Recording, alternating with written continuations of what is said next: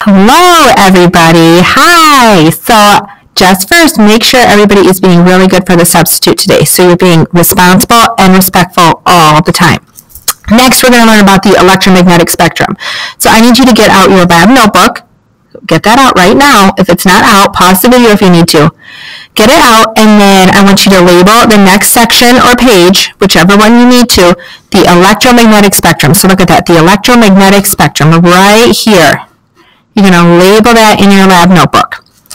Okay, when you're ready to go, let's talk about the electromagnetic spectrum. The electromagnetic spectrum is made up of all the wavelengths out there. And they start really big, like the size of buildings between these wavelengths here.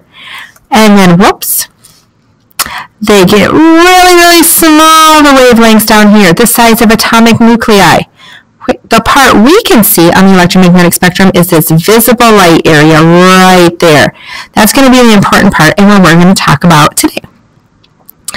So this is the part that I need you to write down, so you should start writing these notes down. The electromagnetic spectrum is the range of all types of radiation. And the longer the wavelength, the lower the energy and the lower the frequency. We learned about this already when we were talking about energy. An example of this would be radio waves. The shorter the wavelengths, the higher the energy and the higher the frequency, such as gamma waves. These are also the most dangerous because they have the most energy. We can see the visible light part of the electromagnetic spectrum. And colors in that part have different wavelengths, and that's what helps us see them differently. Red has the longest wavelength, and violet or blue has the shortest wavelength. So we see colors differently because they have different wavelengths.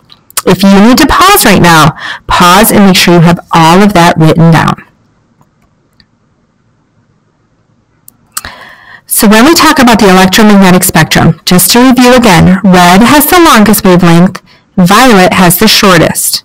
And they carry different amounts of energy, but they carry the same strength of color. So just because the wavelengths are different doesn't mean that the strength of the color is different. It just means they carry different amounts of energy. Red would have less energy than violet because red has longer wavelengths than violet.